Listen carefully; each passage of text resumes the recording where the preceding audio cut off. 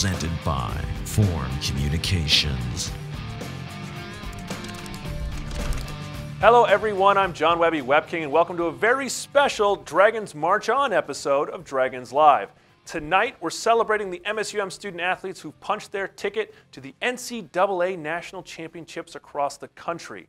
Be sure to follow all the action by clicking on the Dragons March On button on MSUMDragons.com or download the Dragons app for coverage of each competition. Now, let's look at the whole bunch of Dragons heading to nationals, starting with wrestler Zach Scott. He'll represent MSUM at 141 pounds in Cedar Rapids, Iowa on Friday morning. As of selection Sunday night, we learned that the Dragon women's basketball team will be heading back to the NCAA tournament for the second consecutive year to face Central Missouri in the first round on Friday at 2:30 p.m. at the Elmen Center on the campus of Augustana University, the host of the regional in Sioux Falls, South Dakota. We've got indoor track and fields Brian Huber in the long jump on Friday afternoon in Pittsburg, Kansas. And senior Erin Sullivan will swim the 100 backstroke, and Bria Anderson will swim the 50 free next weekend in Greensboro, North Carolina. We're starting today with the most recently notified national qualifier, the Dragon women's basketball team, who rode the bubble for an entire week after their loss to USF in the NSIC tournament. But they got the at large bid to enter the NCAA national tournament in the Central region as the seventh seed. Here's coach Karla Nelson, Drew Sanders, and Cass Thorson talking about riding the bubble all the way to the big dance. All right, coach, just had a room full of screaming players. What was that like? Well, you know, it's been a stressful last couple days, and uh, especially what happened yesterday with all the upsets in, in the other conferences. And, uh, you know, we watch it, so uh, everybody knows what was going on. Uh, very stressful, um, long day today, uh, but well worth the wait just to get that opportunity to uh, see if we can do some stuff in the regional. And we're in. How does that feel? It's kind of surreal still. Um, honestly, you know, we thought our chances were kind of slim as we watched the other conferences play out this weekend. So right now it's surreal, but obviously we're we're really excited to get back there and you know go in and win one game at a time. What was it like to see your name called for the selection show again for a second year? Uh, it was a great feeling. It was just um, we were waiting for this all weekend, watching the other teams play, and knowing we didn't really have any control over that. Just kind of seeing who was going to win, and you know, and so when we finally saw our name pop up, it we just it was like, overly uh, just joyed. Being on the bubble, what's that like? Terrible. I feel like our stomachs have been in knots all week, kind of just thinking about you know um, that we have no control. Your opponent is a familiar one. Yeah. Tell me about him. Played him last year. Um, didn't go how we wanted. Uh, I just didn't think we played our best bat, um, game of basketball that we could have, and this year it's gonna be different. Last year we made it into the regional. I know we didn't have our best performance. Um, what's the mentality going to be like this time to prepare them for that game again? Well, you know, we just have to get back to doing what we we did well, which was play together well offensively. We have to defend tougher and rebound the ball a little bit better, um, and not. Um, and I would just say execute better. So I, I, think that those things we have to look at. Uh, you know what? We're going to face a team that plays really good defense. Um, and it's it's kind of a, a, different type team where they're a little smaller than we are, so we're going to have to adjust to that. Um, but the good thing is, I think we have some different personnel groups that I can prepare, and uh, you know, all I will tell you right now is we will be ready to play. The lone qualifier for the Dragons in the NCAA Indoor Track and Field Championships in Pittsburg, Kansas this weekend is senior Brian Huber, who's very familiar with the national stage. Take a look. I mean, I think I, I, definitely know what to expect now. A lot of the guys that I've seen on the list, I've uh, jumped against in the past, so that helps a lot. Um, you know, I think nerves play a big part of it. Um, I think it's important to be nervous, but I, I'll, I think it's bad to be, you know, too nervous. And so now that I know exactly what to expect, I know, you know what I need to do to compete well. Uh, I think that'll help me be, you know, a little bit more calm, and um, so I should be a little bit more focused and ready this time.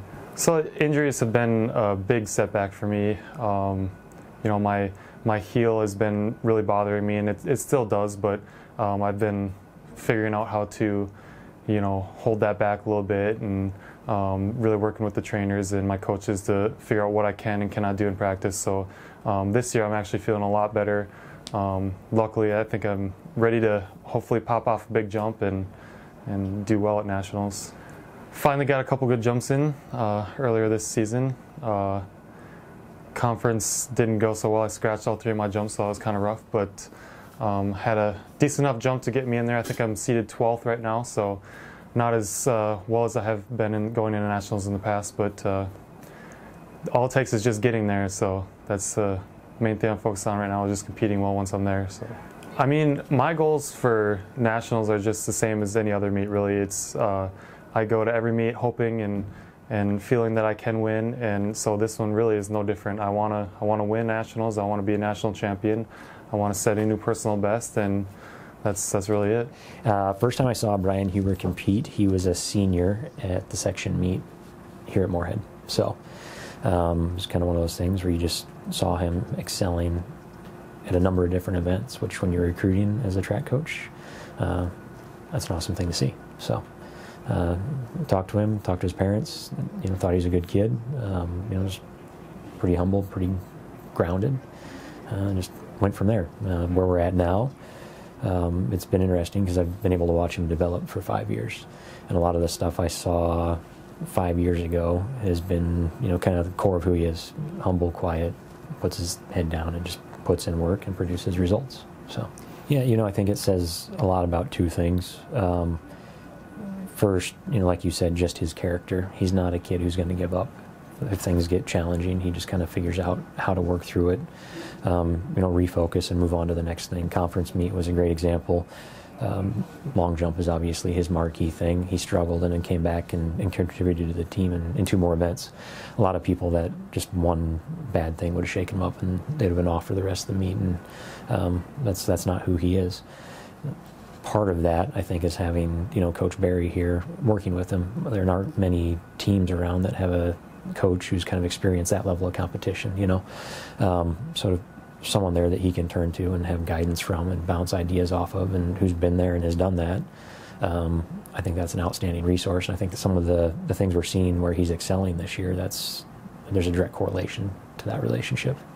Uh, I'm happy to see it. You know, he missed last year outdoor, uh, and someone who you know has really high expectations for themselves. Uh, you hate to see that happen.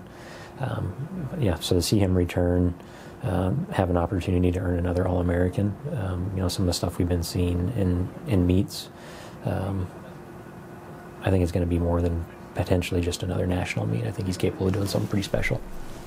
The long jump is scheduled for 4:30 p.m. on Friday afternoon. Again, hit the Dragons March On button on MSUMDragons.com or download the Dragons app to follow along. We've got wrestling and swimming still to talk about. Stay right here for the Dragons Live Dragons March On special right after this. Another day. And just like every day, it never seems to slow down. But you have a plan. Grab a cup, grab the paper, and grab a little time just for you. It's worth it. Don't get the paper?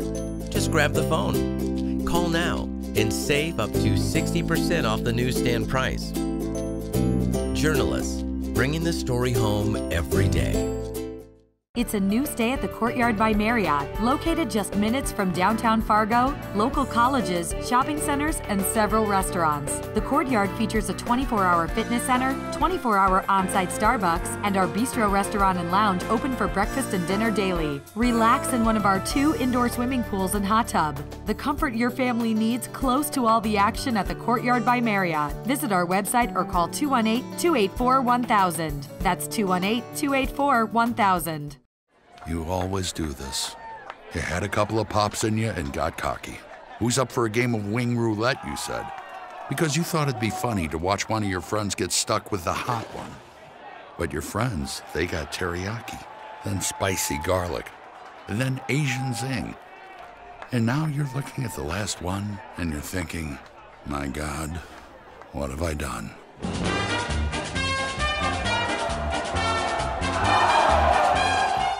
Welcome back to the Dragons Live Dragons March On special. Dragons Swimming and Diving has two athletes heading to North Carolina for the NCAA National Championships. Here's Erin Sullivan, Bria Anderson, and head coach Todd Peters on prepping for the big one. Yeah, this is Erin's third trip to nationals, and so she really knows what to expect. And I think it's really been helping in our training to uh, knowing what, what she needs to focus on, what she needs to work on, what are the little things that she can do that are going to make a difference when she gets to that meet. Uh, and with Bria, she was there last year and was able to experience it, and it was just kind of like, oh, I'm here kind of thing for the first year. And now knowing that, all right, now I know what I need to do to be successful there. And she has stepped up her game too. And, and she's doing all the right things in practice. And that's what's really different for the two of them is usually that first time athletes qualify for nationals, they're just happy to be going. And it's difficult to keep them serious through the, the training part that happens for the next three weeks. And the two of them, they don't want to just be there. They want to be successful there. So they are doing the things that they need to do uh, to accomplish that. Well, it's different because it's just me and Erin, so there's a lot less people and kind of chill. Just kind of talk and swim. And me and Erin are good friends, and we roomed together last year at Nationals, so we're both really excited. I just want to get a best time, so my time going in will be a 23.31. So anything faster than that is what I'm hoping for. And based on last year's results, if I go my seed time or a best time, I should either be in top eight or top or in the finals. So top eight would be all American, which would be cool, but I'm not gonna overstretch anything. Me and Bria get along really well, so it's nice to have someone you can kind of talk to about your races, talk to I mean about anything other than swimming also. So it's good to have someone you get along with and can kind of relate to with swimming and other things too. I mean, having that extra person helps in the pool as well. Um, so you're not coming to practice alone, getting in the pool. That's not very fun. Um, so it's nice to have someone else with to practice. Um, I really want to drop time from my previous times and from conference. I didn't do as well as I'd hoped so. So just doing better than I did at conference and then having a good time too, since it is my last meet and finishing it off strong, but also enjoying myself while doing that.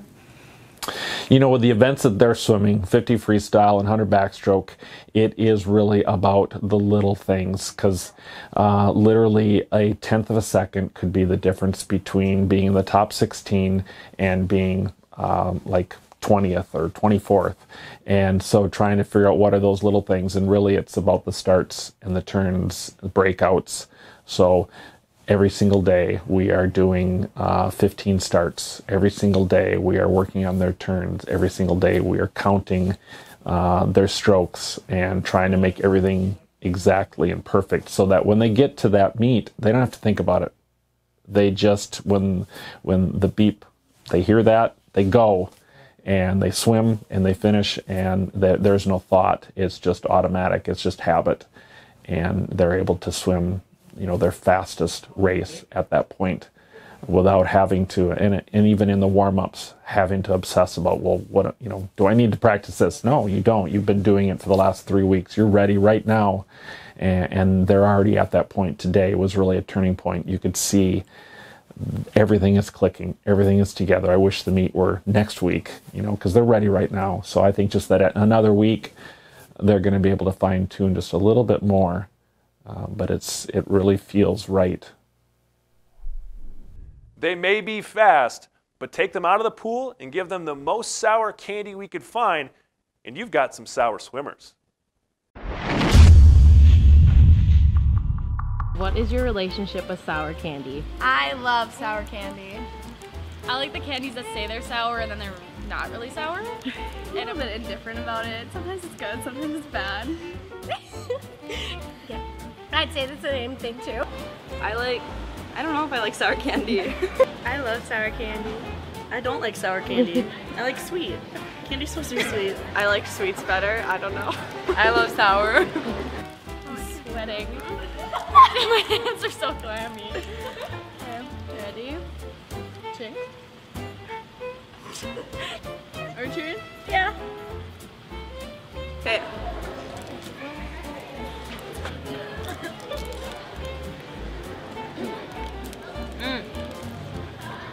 Bad. it's already hitting me. It's not that bad. It like burns. it's not even bad. Mine's good. Mine's really sour.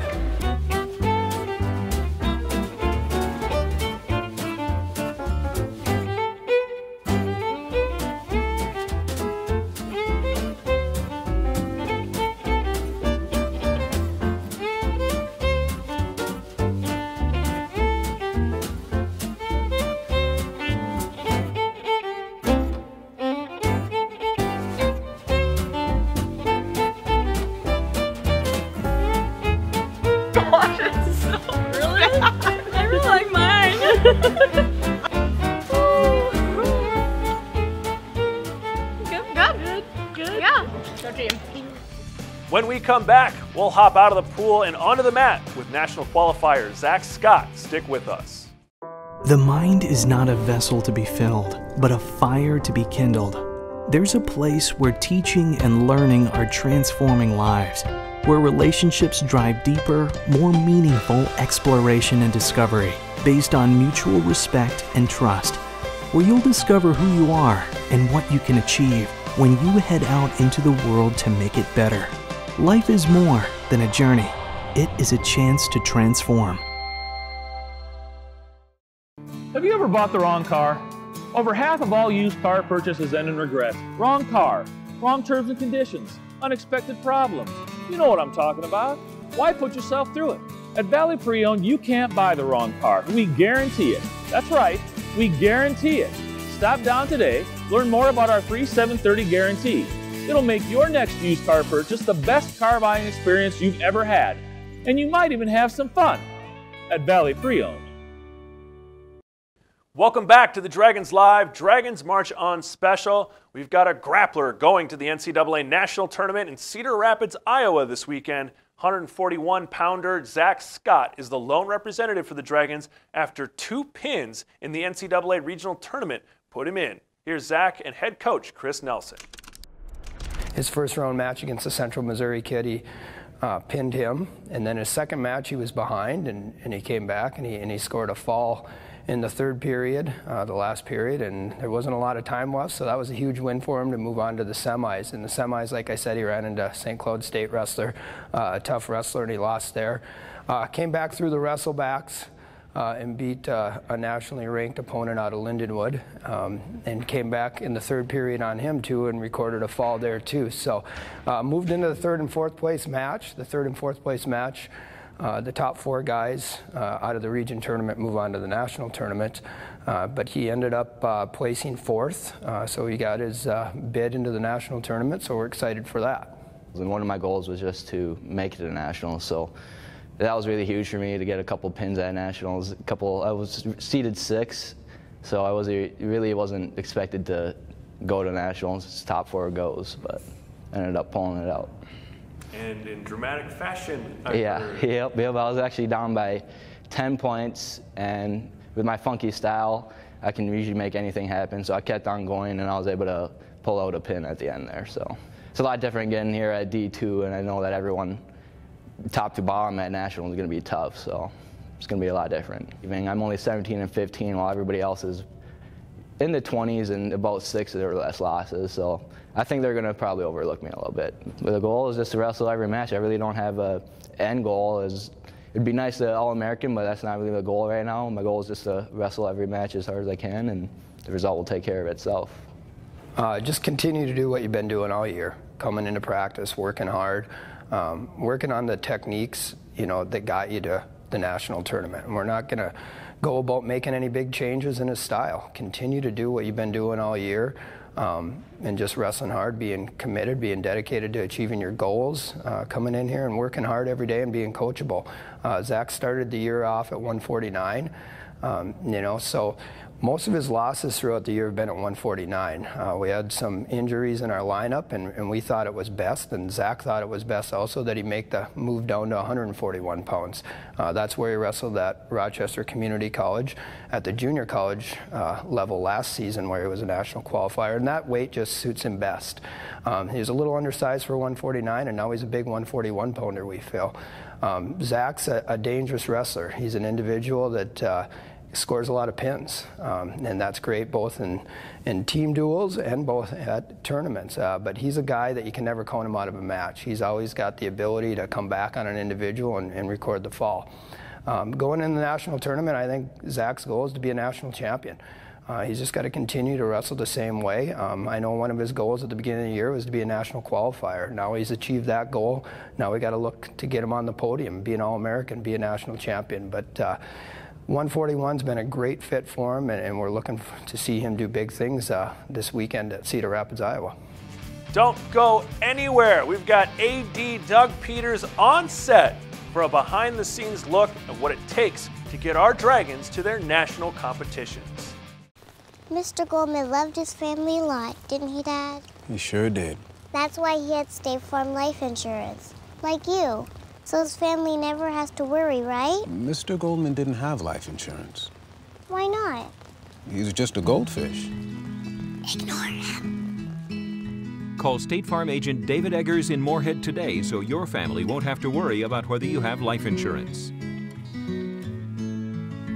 We put the life back in life insurance.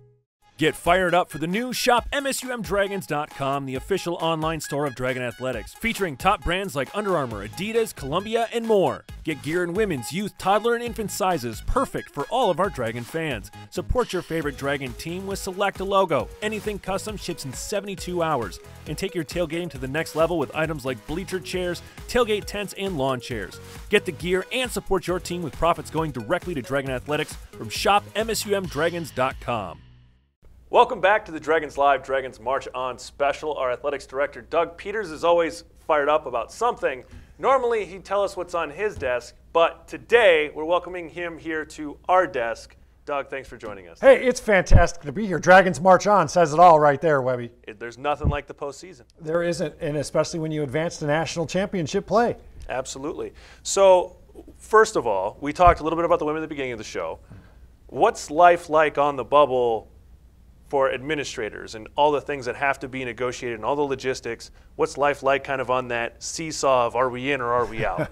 you know, it's almost, notice I said almost as painful for the administration as it is for the student athletes and the coaches. Obviously, they have a little bit different view of what's on the line, but for us, it just puts everything into pause. We think we have a chance, we have some ideas that we might advance, and you really can't do anything until you know. You can try and plan out what you need to do, but to actually push over some of the dominoes to get things going, you can't do that until you find out. And what are some of those dominoes? Those things that go on behind the scenes that get our student athletes there and ready to go for national competitions? Well, when you think about behind the scenes, I mean, one of the significant conversations we had last week was how do we do our selection show? Yeah, as, as we look at it, do we do a live selection show? Do we invite other people in? Do we just do it in a private gathering for a team?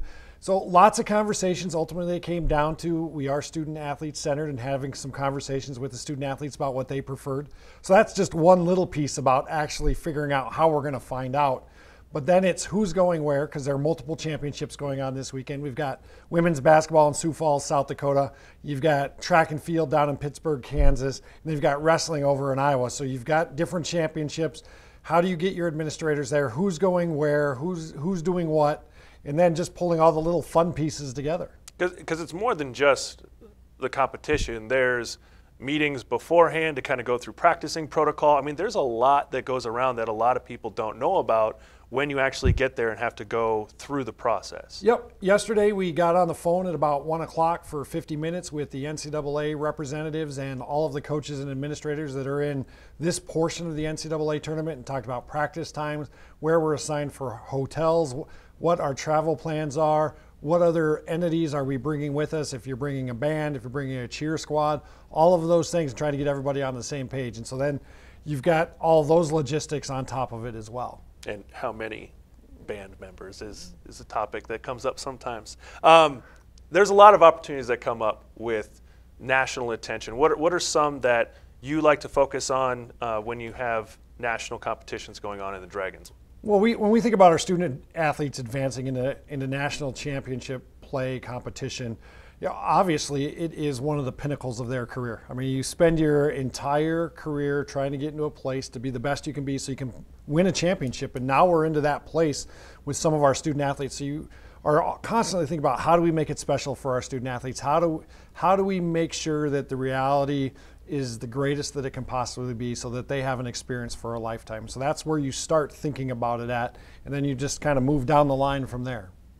And what other opportunities to engage not just the student athletes, but the fans, alumni that tie into an opportunity like this? Well, you know, it kind of depends with your administrative staff of whether they're chicken or not. You know, so let's talk about women's basketball. We went and we put together, somebody did a lot of work to pull together a elite, not an elite eight, but uh, the who was going to get in in our region. Right. You know, then it's the debate: do we put that out there? Do we not put out that out there? Because there's always some risk when you start to talk about as an administration what you think is going to happen. So you have to evaluate your risk assessment about what you're willing to say, what you're not willing to say, and then figure out how to grow that fan interest and excitement. And again, part of right. it is making those student athletes feel special. So it was interesting on the selection show on Sunday night the debate behind the scenes. Do we put stuff out before what we think is going to happen? Or do we wait till we know what's going to happen and then try and blow some things up? So it was awfully fun just watching the little video that uh, you guys shot during the selection show and the reaction of our team. How many people watched that and trying to take those little pieces and blow them up and create as much interest and excitement for our fan base and for our family members of the players that are going as we possibly can. And finally we can tell you're fired up about it. We brought the red jacket into Dragons Live today. It's Dragons March On, baby. How fun is it for you to see all of their hard work finally pay off and, and get to this level? Words can't describe it, Webby. When you think about our student athletes that are going to be competing this weekend and next weekend, as I mentioned earlier, it's one of the pinnacles of their career. Same thing with the coaches. They spend a lot of time, blood, sweat, and tears going into what they are doing. It's one of their passions in life and as we try and help them, you know, achieve what their dreams are, and to actually see it begin to happen, to actually be going down to Pittsburg, Kansas to watch Brian Huber, who legitimately has a chance to win a national championship in the long jump, to watch our women's basketball team, you know, to watch Zach on, on the wrestling match. You know, the, words can't describe the emotion I have when it comes out because it is something that's so special that everyone has worked so hard for. Well, thank you for all you've done for that and getting us all in the right places for, for this weekend and next weekend. And thanks for joining us here on Dragons Live. Thanks for having me. And everybody cheer on the Dragons. It's Dragons March On. Fired up.